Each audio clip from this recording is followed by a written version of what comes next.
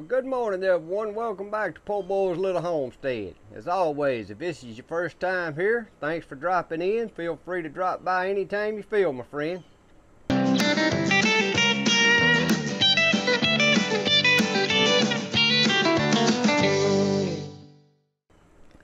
Guys, today I'm going to be canning me some tomato juice. I got a bunch of tomatoes. And what I do, I ain't got a big batch of tomatoes, so I can't get a lot of tomatoes at one time to have enough to make my juice. So I freeze them in the freezer. Then I take them out, like last night before I went to bed, I took them out. And I'm trying two different ways this time. I left some just sitting out in the ice chest without water. And then I put water over some to thaw. Now the thing about when you do that, when you're saving tomatoes and you're going to freeze them, you need to go on and look at your tomatoes good and don't put no bad tomatoes in your freezer. Because once you thaw them out, they kind of, they going to be soft and you ain't going to be able to tell where the bad spots are to cut them out. So make sure you freeze only good tomatoes. But we're going to be using this here Deluxe Electric Tomato Strainer. Now I done a review on this tomato strainer a few months back when I purchased it. I'll put the link in the description below if you want to go back and watch this video or might attach, remember if I attach it above. You can go back and watch this video on this tomato strainer and it goes more into detail about it how you put it together and the parts it comes with and all that good stuff but we're gonna be canning our tomatoes so I got my ball electric water bath over here got the hot water in it and I got my jars washed and I got my jars in this hot water that way they'll be sanitized when I get ready that's gonna be a little while later but I like to go on and get set up I got my pot sitting over here that I'm gonna be putting my juice in. So right now we finna start straining these tomatoes. I'm gonna start out with the medium screen on this juicer. Now a couple days ago I just made some 24 pints of salsa. And what I did, I run them tomatoes through the coarse screen on this here strainer. And then I turned around and I run it back through the medium screen on this strainer but today I'm to start out with the medium because I'm wanting juice. And after I get through, I'm to still run this juice through a strain bag to get the seeds and all out of it. But we're to start doing our tomatoes here. And like I said, I got all different kinds of tomatoes. I got yellow honeydew delight tomatoes. Cherokee purples.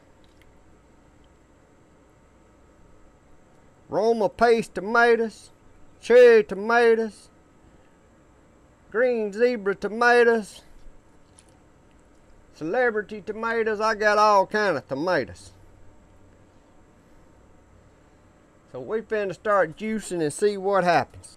I'm hoping I got enough red tomatoes to go with these yellow and green tomatoes. And when I'm saying green tomatoes, y'all, these these green zebra tomatoes here, they small tomatoes, but when they're ripe, they stay green, even though they still have a tomato taste.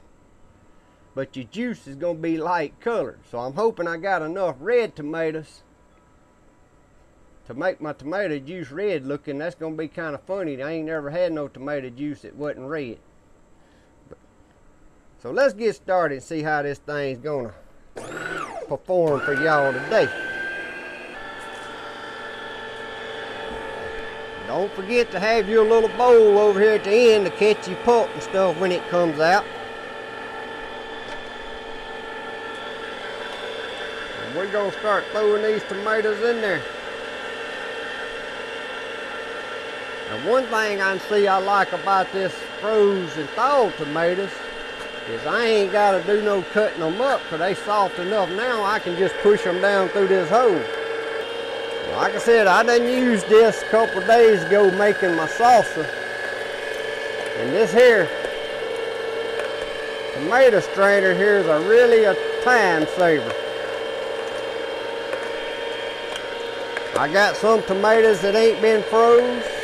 Now then you have to cut up in small enough pieces to go down in this hole.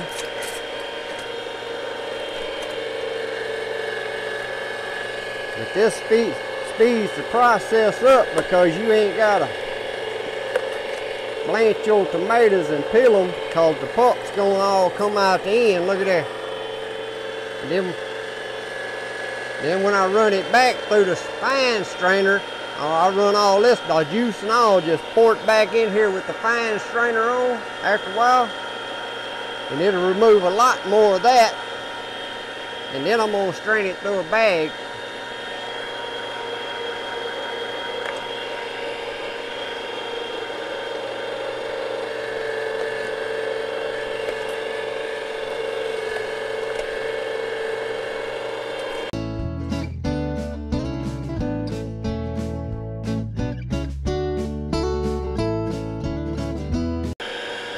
cutting some of these big tomatoes here. These big Cherokee tomatoes, I'm just cutting the core out. That way it won't be so hard on the little motor here.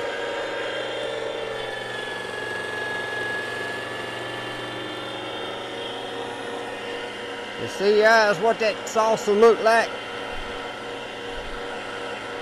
When you're making salsa, look how good that thick that is comes out.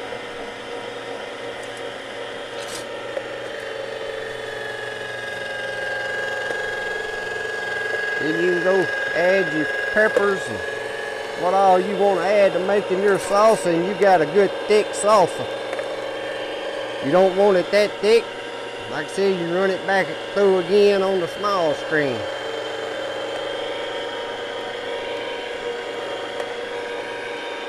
You see, I got fresh tomatoes cut up in here that hadn't been froze. You just have to cut them up quarter them up so they'll go down this chute.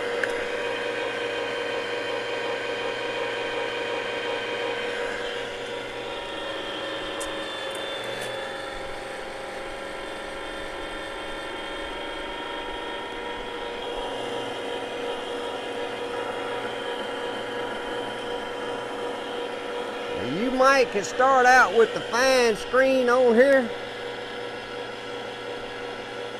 But to me, I'm gonna turn around and run all that back through. The whole bowl here, I'm gonna run back through when I get done.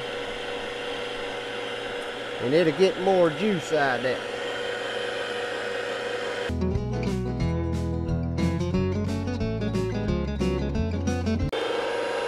I was kind of concerned how the frozen tomatoes was going to work.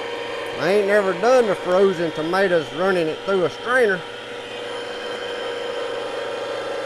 Until till I bought this one. But actually, I think the frozen tomatoes does better because, like I said, once they thaw, they already soft.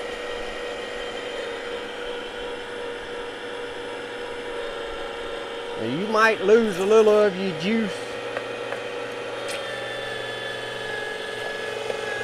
They may not be, have as much juice in them, but if you got plenty of tomatoes, it makes up the difference.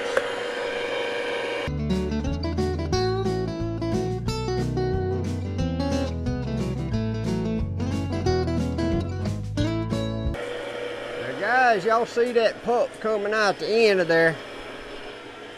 You can see how it's, I can take it and put it in my hand and it's done squeezed. That ass just pulp. Ain't no juice in there. It's done got all the tomato juice out of that. That's why I ain't gonna waste my time rerunning this pulp. Y'all over here a little closer so you can see. Just drop them down in there. These tomatoes has been frozen thawed. These big tomatoes, see, you just take your hands and pull them apart. Where if they hadn't been thawed like these here fresh ones, I had to cut up in chunks to go down in there. And you just push it through with that plunger. Cherry tomatoes work great.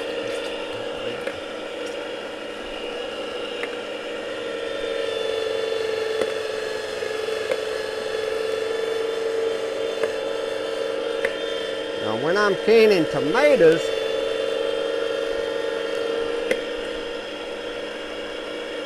I like canning my paste tomatoes.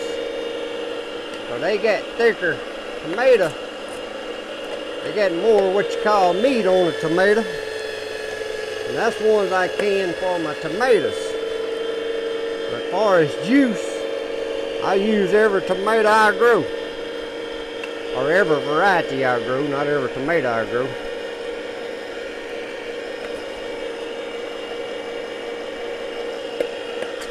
But that's how you put it down in the plunger.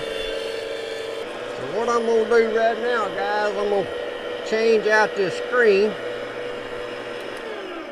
and put the smaller screen on here and we're to run this whole pan of juice back through that screen and you'll get a lot more of that out. So when you're doing your straining through your bag or however you strain your your tomato juice I do it with a bag strainer. See if I can figure out how to get this part off. That just slides off.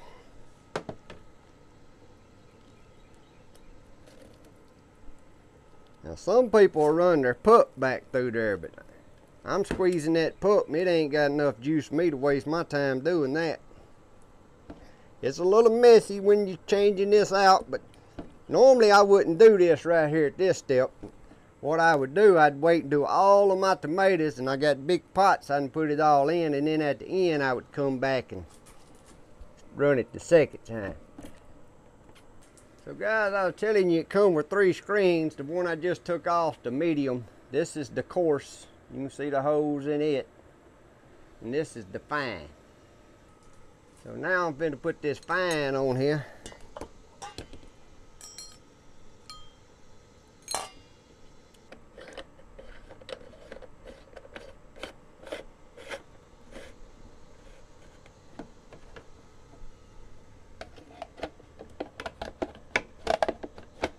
Attach the trough back on there.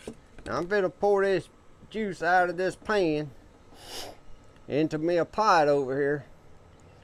That way I can have my pan to put back under here and then we're to pour it out of the pot. Show y'all how fast it goes through the second time.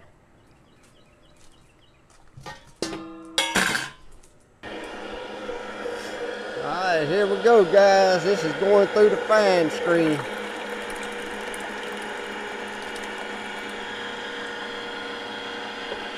Y'all can see this is a little messy. This is why I like doing all this outside. I ain't got to worry about splattering it all over the kitchen.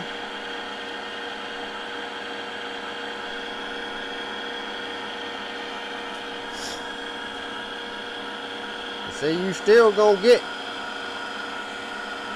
some stuff that thicker there. That's why I'm gonna have to screen this juice through a screen bag.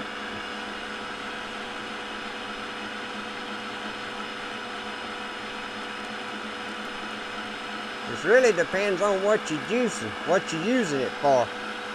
We really don't drink tomato juice. We just use it to cook with. So sometimes my wife likes me to leave the jars with this thicker stuff in it. We put up some just tomatoes some just juice and some you got the smaller, about like what you see right here.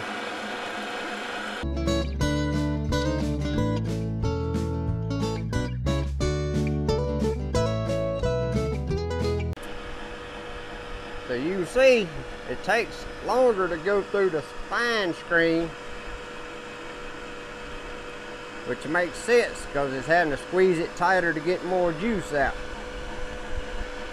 But still, this is a time saver because you can just take your tomatoes straight out of the garden, wash them up good, cut them up, run them through here. You ain't got to blanch them, peel them. All that's coming out the end down here. Also, y'all can see how good looking juice that makes when you run it through the second time.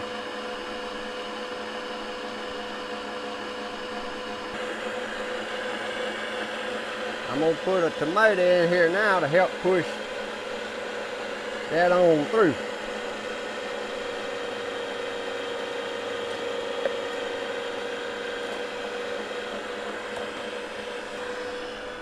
Know some of you guys gonna watch this and y'all gonna say, well, he's using his hands touching that. I got news for you. You're out on the homestead and you've been doing this for years, you ain't worrying about taking a spoon, cause when you set that spoon down over there, it ain't no cleaner than your hands are. You just keep your hands washed. I got sanitizer right here with my sink. I steady washing my hands because you got to use your hands to work.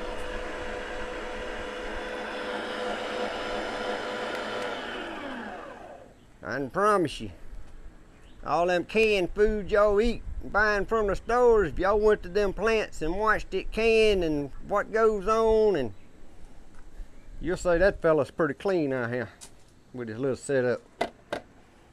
But that's all right. That right there, guys, all that pulp coming out the end, the chicken feed, yeah, they love that.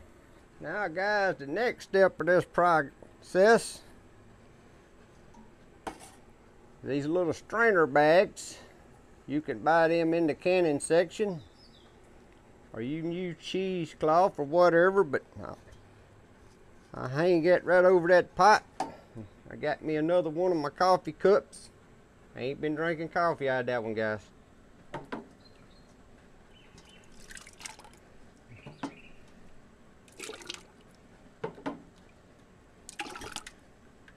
Uh-oh. Come off my little holder there.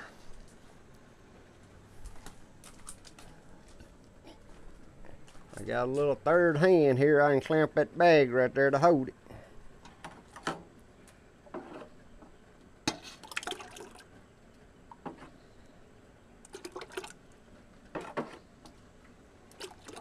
If you got a second person with you, you can do this a lot quicker. One can pick it up and pour it while the other one holds it. But after you pour so much there,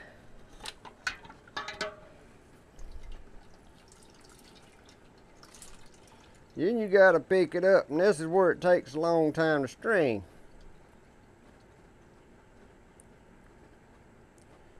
String it, screen it, string it, however you want to pronounce it.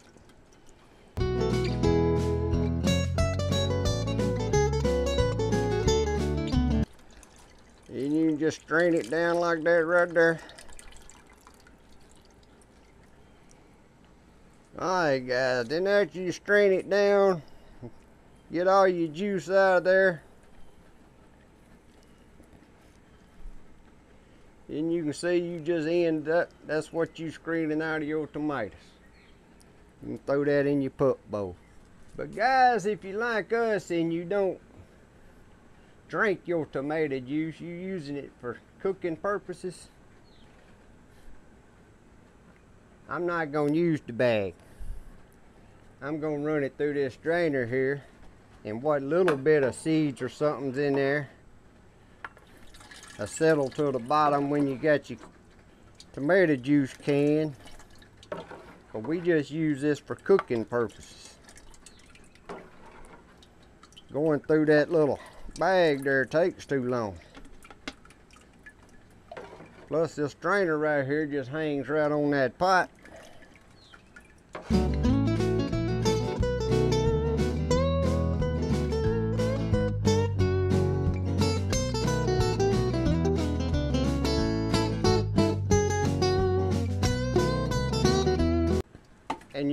It sit there and drain through and go getting something else prepared. So that's all going to depend on how good you want your tomato juice strained. If I was a tomato juice drinker, then I'd probably want mine run through the fine this fine bag. You're gonna put a lot of time into that. We use ours to cook with.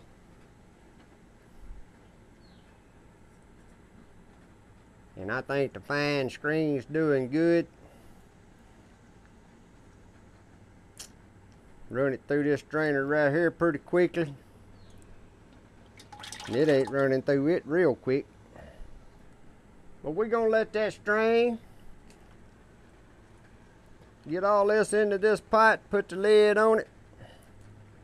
Set it in my refrigerator to keep it cool. And continue on with my tomato juice. Now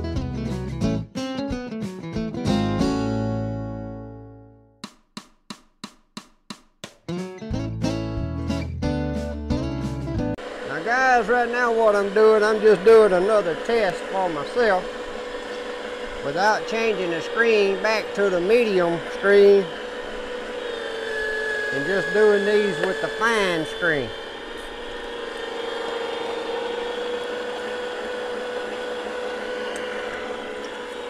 Now what's going to be the test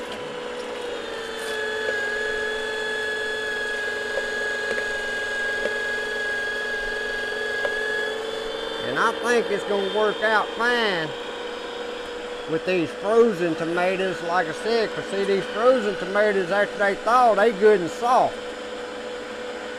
You can just peel them. You don't even want to put the peeling in there. You can grab them and squeeze the peeling off. You wanted to take the time to do that.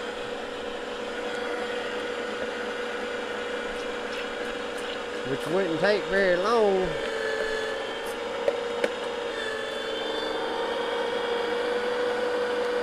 But I'm gonna just put mine in there and let the machine do the job for me. That's what I purchased it for, ain't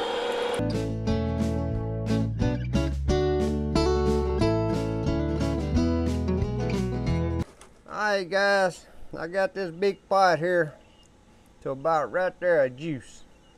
I got one more dish pan of tomatoes sitting back here to strain, but I'm gonna go on and put this big pot on the burner back in and let it slowly start heating up.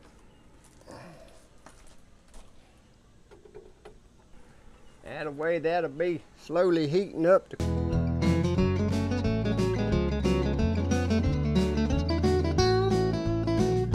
I don't put a top on it, but I have this little lid with holes in it here. That way can't nothing blow in there. Which ain't no wind blowing right now because it's hot as the dickens out here. And we're going to continue on with this last dish pan of tomatoes.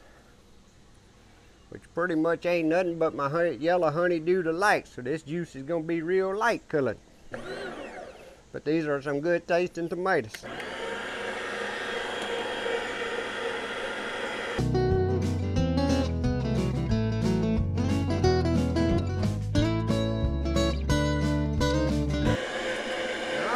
Guys, we're about finished with this little step. Alright guys, that's all my tomatoes. So that was about three to four. Can't rightly remember right now. I think it was four of these dish pans here full of tomatoes. I ended up with three of this pans right here full of juice. Which is going to be more than my pot over here holds. Now on my salsa, I had this pot about seven eggs full, I guess. And I ended up with 24 pints of salsa. And then I froze two quart bags that I'm going to use to experiment something else with on a cooking recipe. I'm going to top this all the way off because it's going to cook down.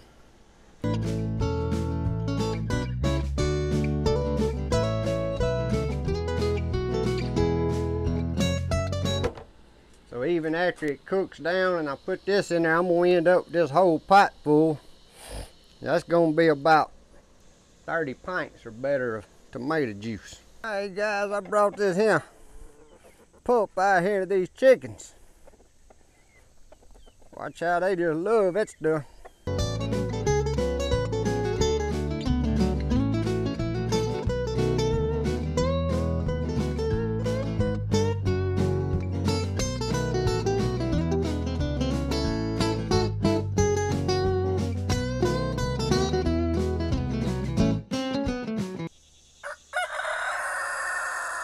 What you're talking about, Carson. Tell him about it. Tell him that's some good stuff. He stands back, makes sure all of his ladies gets their food, and then he'll get him a bite after he makes sure they all ain't fighting over nothing. Alright guys, now that I got my mess cleaned up, I know I made the comment I was cooking this tomato juice. You don't cook tomato juice, you just heat it up slowly. Get it to about 190 degrees, such like that. That way when you're putting it, your hot juice into your hot jars, the water bath can. Stir it down in there a little bit. I skim some of that top off. And I put it in this pan. I put it back in there and then I can that in the bottom. So, like I said earlier, in my ball water, electric water bath canner here, after I wash my jars, I've had them sitting in this water at about 180 degrees, 190 degrees just before a boil. Now guys, there's a trick when you water bath canning. Your water you put in your canner there, if you add you about two or three tablespoons of vinegar to your water, it'll help your jars when they come out, they'll be clean after you can. Because if you got hard water, it'll leave that old white film stuff on your jars. But I always mention this in anything I'm canning. If you ain't never canned before and you want to can, the best thing you can do, guys, is you get you a ball blue book guide for preserving. There's other books out there. This is just a good one that I have that I go by. I got two or three, but I really like this one, and I'll put it in the description below. But don't go by YouTube videos or even my videos on how to can. You can watch the videos, see the process about doing it and stuff, but you always double check whatever your information you're getting in a canning book. First thing I'm going to do to all my jars, I'm going to put a tablespoon of lemon juice. And the purpose of that is, is because you don't know your tomatoes, like me using all different kinds of tomatoes, you don't know the acidity of them tomatoes. So it's safer to add you some acidity to And again, that's why you need to have your canning book.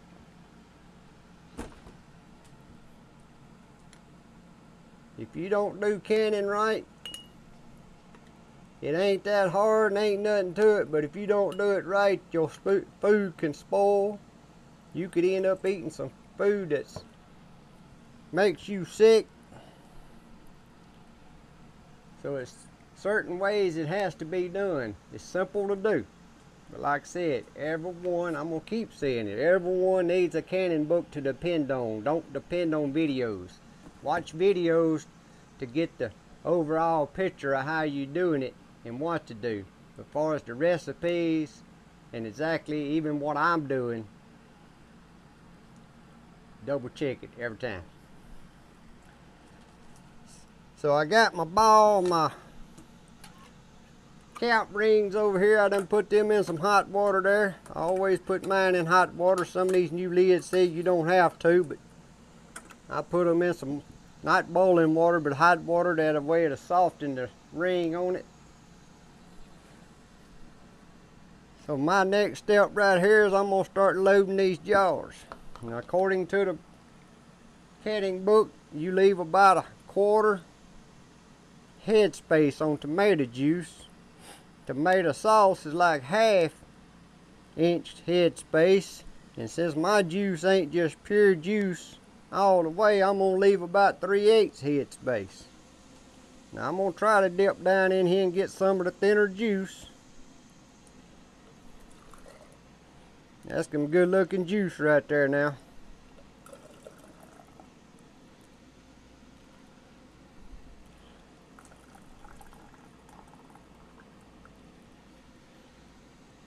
You don't know what the head space is, that means just from the top of the liquid to the top of the jar.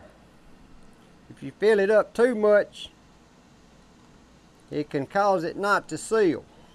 That's just the simplest way I can put it. Especially when you're doing something that you have in the pressure can.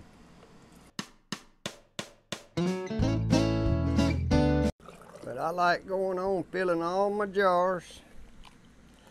Some people do them one at a time, put their tops on them, but it's easier for me to do them all. Then clean the top of my jars. Then put my lids on, then set them all in my water bath canner. But I am kind of working off-handed here. If I wasn't filming this, I wouldn't be set up this way because I'm right-handed and I'm working on my left side. Hey, Colton. My grandson just showed up. He hollering, hey, Papa over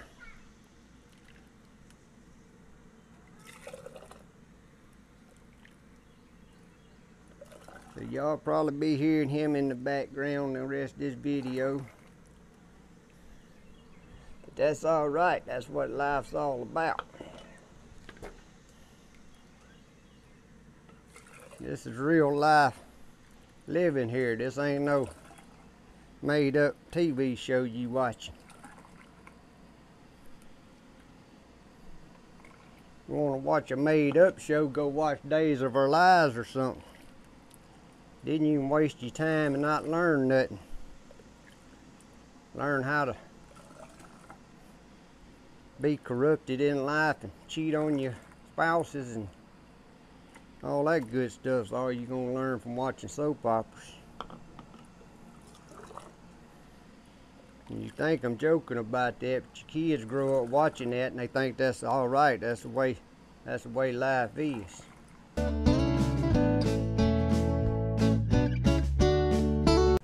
now the best way to clean the top of your jars here, I got a little of this vinegar I put in a cup here and you put it on your paper towel.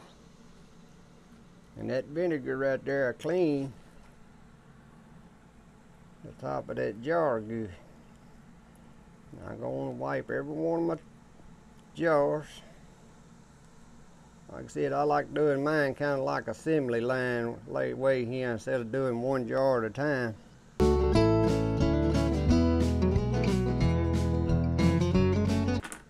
Put your rings on, guys. You only just don't don't just tighten the crap out of them. Just run them down there finger tight. And you can see these rings ain't new. You can use your rings over and over. Don't matter if they got a little rust on them, as long as you wash them, desanitize them before you start. Now guys, we finna go into the water bath canner.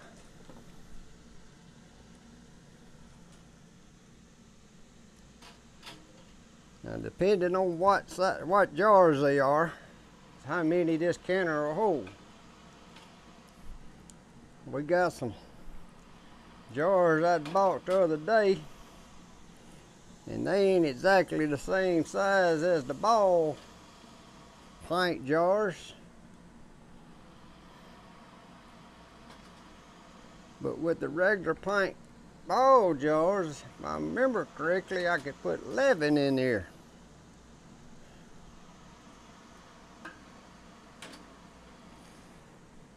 But one of these jars is an oddball, even though it's a pint. But it won't let me get 11 in here. I can only put 10 of them in here. And you want to make sure you get your water after you set them in there. Your water's at the at the minimum one inch above the top of your jars. Put your diffuser on there. You ain't got to have this. This just come with the canner. And it does keep you keep your bubbles from jumping over your jars there. Turn it on high. And as soon as this thing starts to boil, set you a timer for 35 minutes. When 35 minutes is up, I'll come back, turn it off, take the lid off, and I'll let them sit there about five minutes, and then we'll take them out. fill up some new jars, do it again. Alright guys, so this is the last batch. And it actually like one jar being full.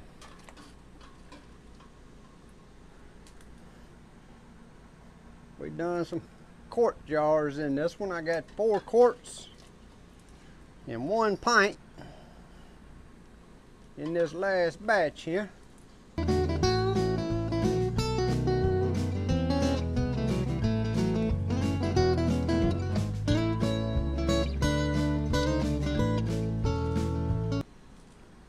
Let's see what we ended up with here. So there's 1, 2, 3, 4, 5, 6, 7, 8, 9, 10, 11, 12, 13, 14, 15.